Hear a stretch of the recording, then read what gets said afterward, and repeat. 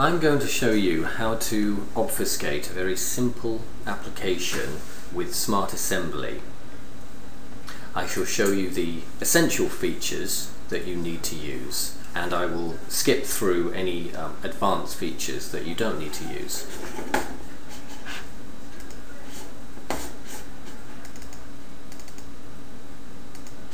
So I have a very simple console application here, only about 20 lines, and I'm going to obfuscate it so that you cannot see any of this source code in the compiled assembly.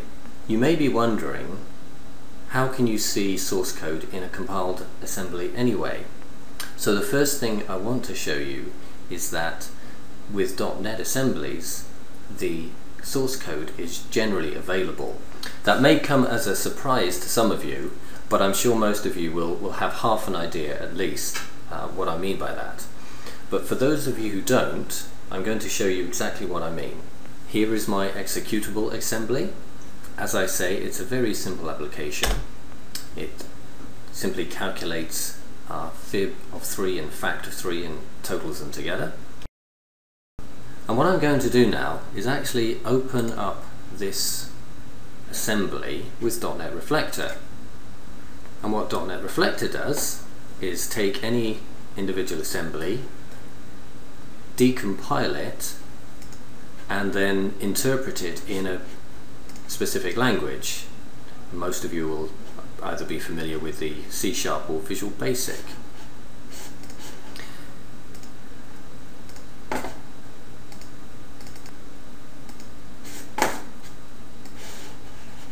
So we've gone from a compiled assembly right through to source code. And if I wanted to see this source code in other languages, that's no problem. But I'm going to stick with C Sharp. And in fact, what I'm going to do is show you what things look like at the intermediate level, the IL intermediate language. So this is actually what the .NET runtime takes as its executable code and then finally interprets this in native uh, CPU specific code. And of course once somebody has got hold of this level of your code unobfuscated they can create a copy, edit it and effectively they own, now own your source code. So what we need to do is change the code, not functionally, but literally, so that even when Reflector decompiles it, it's going to look like nonsense. So that's the objective for today. So here's my code in project form. Here's my main method. As I say, it's only about uh, 20 lines.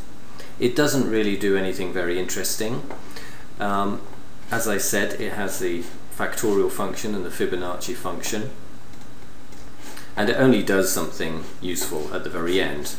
To start off with, I've just put some general app domain code in there. Um, doesn't really do anything very interesting, but the point is that I can then show you the effects of obfuscation in more detail.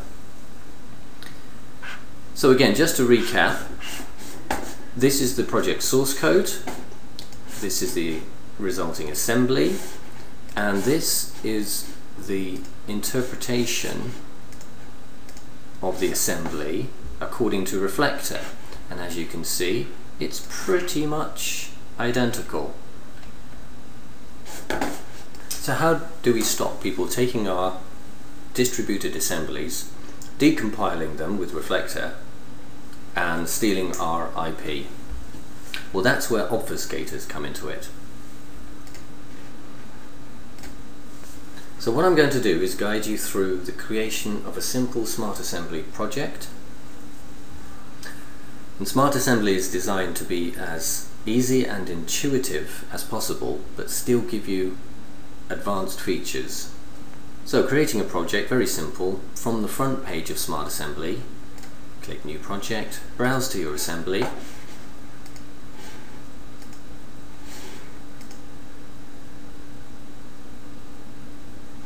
and then simply set the destination. You could rename your assembly and save it to the same destination. That's not a problem, but I don't recommend it. The best thing to do is create a separate, separate directory, name it something sensible, and stick with the original name. If one of these days you will actually rely on a static name of your assembly, so it's best not to rename even at that level. Of course what you need to do is remember to, in general, copy your dependencies into the same directory. But in this case we don't have any dependencies. So we're nearly there, it's, uh, it's that simple. If you look along the top line here, Smart Assembly is, has a visual representation of the features. Each one of these icons represents a separate feature. It would take me a long time to go through each of these, so what I'm going to do is just take you through the most essential features that you need to protect your application. And these are going to be obfuscation, control flow obfuscation, and strings encoding. Smart Assembly has a traffic light concept where each feature is either green, amber or red. The idea being that the Perfect Smart Assembly project has all of these features enabled um, and therefore is green. As you can see some of these features are not necessarily needed to protect your application and that is why out of the box they're already green. Um, but I'm not going to go through that, um, just to generally say that uh, the three features that I will go through, obfuscation, con control flow and strings encoding, they will need to be green. So let's click on obfuscation and the project is now prompting me to select all the assemblies that I want to obfuscate and as soon as I've selected that it turns to green. There are three different ways of obfuscating, all with increasing um, powers of uh, complexity. And in general, you will want to choose the highest power, but the reason why there are lower powers is because sometimes obfuscating something uh, causes problems with interaction with other code. So sometimes you have to scale down the power of obfuscation in order to interoperate. But in general, you can feel fairly confident that uh, the maximum power is the thing to use. So once you've selected your feature and the level of power that you need, you can go ahead, save your project, and then build it.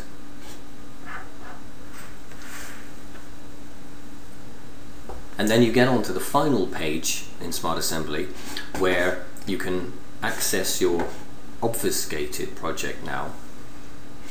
You can open the folder, access your obfuscated project, or you can simply run it. Uh, this is a very useful feature because often if you have multiple projects it's very confusing to know which directory is your final obfuscated build so it just makes it that bit easier for you. And finally, just to test that your application does the same thing as it did before, that's an essential part of this process. So really, I've just taken you through a very simple project, but however complicated your project is, those are the main steps. Navigate your assembly, choose your features, build it and test it. What I want to do for the final few minutes is just show, the, show you the effects of each feature on the obfuscated assembly and I'm going to do that of course in Reflector. So the first thing you will notice is the class names are renamed and so are the method names. So it's only because I've done this a few times that I actually know that that is the main method but otherwise anybody else accessing your assembly would not know until they spent a little time looking at the code. So the interest, interesting thing to note here is that, as I say, the namespaces, the classes, and the methods are obfuscated, but within the fields and the code, it's back to clear text. So this is why we have to add extra features. So going back to the Smart Assembly project, we can click on project settings and review what we've done and add or subtract as we wish any extra features. As I say, what we're going to look at is the control flow obfuscation and this will start to protect the code within the methods. Again, we have the ability to have a stronger power obfuscation or a weaker. Control flow obfuscation can change the um, efficiency of your code and we'll see why in a minute. So this is the reason why you might want to scale the power of that back. I do recommend that you test your obfuscated assemblies um, just that little bit further.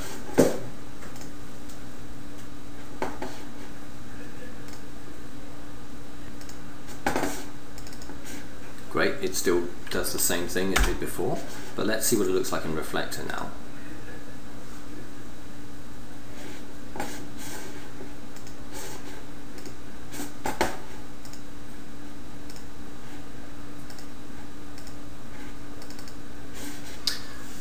Okay, this is interesting. So Reflector refuses to interpret the intermediate language, whereas before it was able to convert the intermediate language into readable C-sharp code.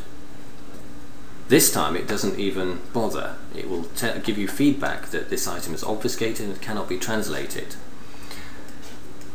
Control flow obfuscation is very powerful but what we can do is go back to the original intermediate language and then we can see if there's any details we still want to obfuscate. So what Reflector did is it took a look at this and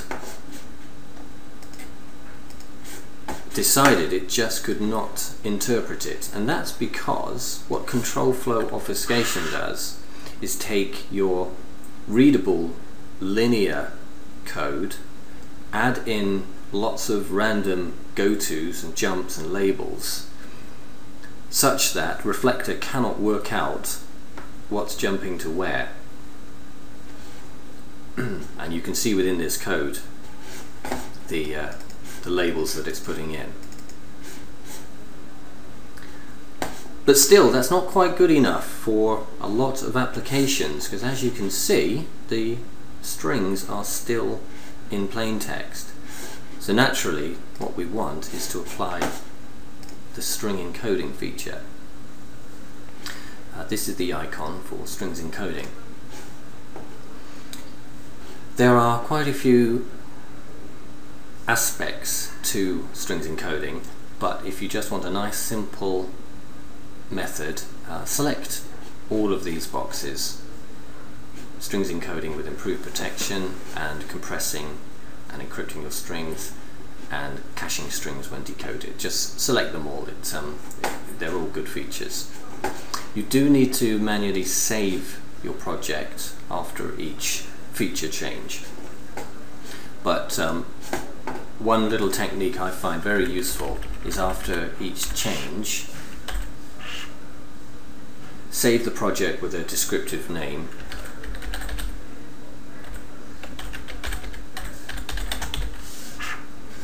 because you might want later to scale back different combinations of features.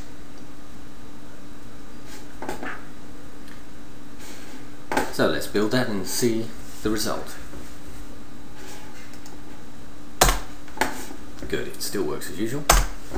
Open it up in Reflector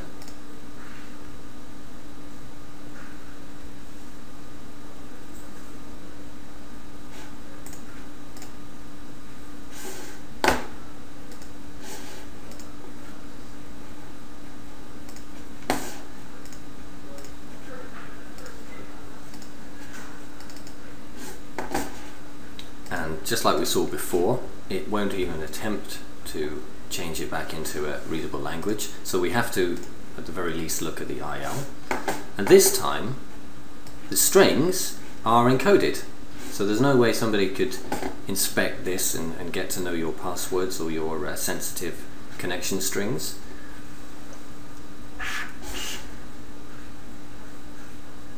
So that concludes the final feature of the three essential obfuscation techniques that I recommend you use with your simple Smart Assembly project. You might ask, well why isn't there a, a simple button obfuscate to a basic level? So that instead of having to switch these three features on, there's just one button. Well the thing is, as I've said a few times, you should get used to testing just that little bit extra your obfuscated builds. Each one of these features may affect how it interoperates with other code. So to a, quite a fine grain level you might have to test each feature and see the effect. So it is best that you have this fine grain control and making it even making it one step simpler than it is is probably going a little bit too far. So I think we have the right compromise between making it um, obvious what it's doing, but giving you that fine grained control, giving you that feeling that you are still in control of your builds. So that concludes my very basic rundown of the most essential features to use with Smart Assembly. Please feel free to give it a try, download a trial copy from our website We've made a recent update to add even more features in version 6. So I hope you can use it, enjoy it, and come back to us with all your questions. Thank you very much.